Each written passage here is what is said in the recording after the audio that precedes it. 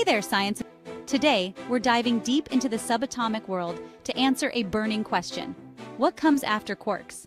Quarks are some of the smallest particles in the universe, and they come in six flavors, up, down, charm, strange, top, and bottom. But quarks don't exist freely in nature.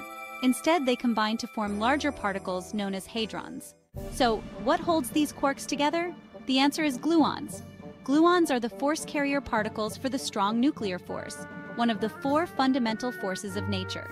This strong interaction is what binds quarks together to form hadrons.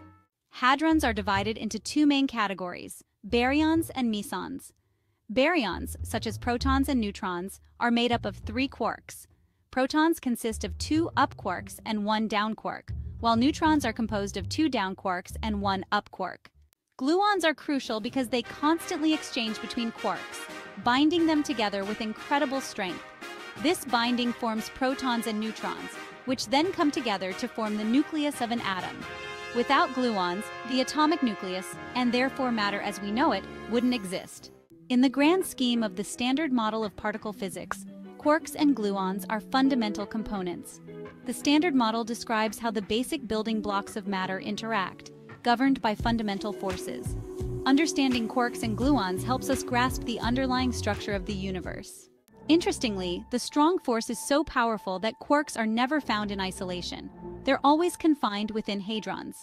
This phenomenon is known as color confinement. The force between quarks increases as they move apart, making it impossible to separate them completely. Research in particle physics, like the experiments conducted at CERN's Large Hadron Collider, continues to uncover the mysteries of these subatomic particles.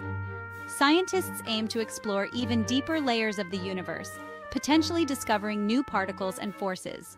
So, next time you think about what comes after quarks, remember the gluons that bind them and the intricate dance of particles that form the foundation of our universe.